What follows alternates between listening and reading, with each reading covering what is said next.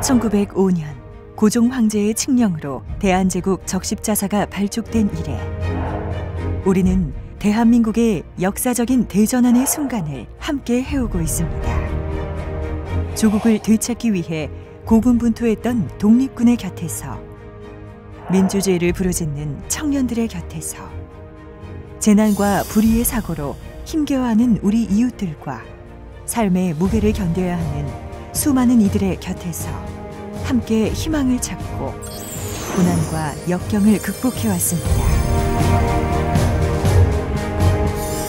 세계 유일의 분단 국가 대한민국. 그러나 우리는 평화라는 희망의 끈을 놓지 않고 남북 관계 개선을 위한 다각적인 인도주의 활동을 펼쳐왔습니다. 이제 분단의 악순환을 뛰어넘어 전쟁과 폭력, 핵에서 해방되어 평화와 공존의 시대가 열릴 수 있도록 시대적 인도주의 소명을 다할 것입니다. 2019년 더 높이 도약하겠습니다. 남북교류의 중심 창구로 평화 통일 시대를 대비하겠습니다. 대한적십자사는 한반도와 동북아시아의 인도주의 공동체 건설이라는 목표 아래 70여 년 우리 결의의 염원인 이상가족 문제를 근본적으로 해결하고 평화와 화합을 기반으로 남북의 인도주의 협력을 위한 주도적 역할을 수행하겠습니다. 국민의 안전을 위해 재난 구호 및 사회 안전 중심 활동을 확대해 나가겠습니다.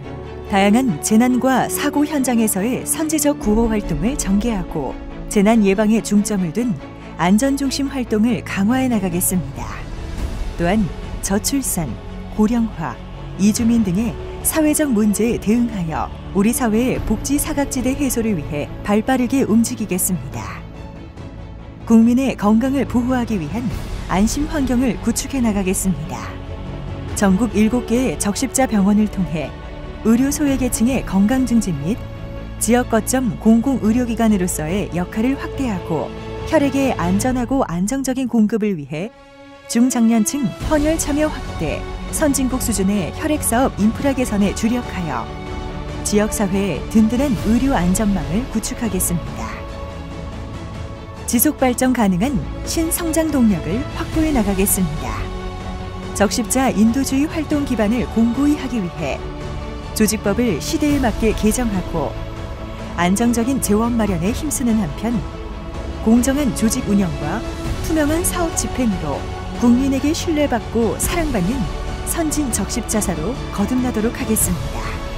평화와 공존의 시대라는 대전환기를 눈앞에 두고 있는 지금 8천만 결의가 함께 포용하고 모두가 잘 사는 인도주의 공동체를 건설하는 것이 2019년 대한적십자사가 열어나갈 모습입니다.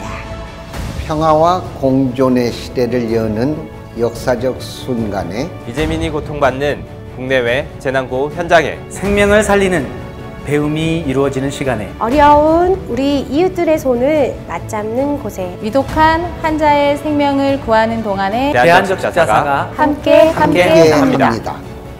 대한적십자사가 보여준 인도주의의 힘, 그 위대한 가치와 철학은 앞으로도 계속될 것입니다.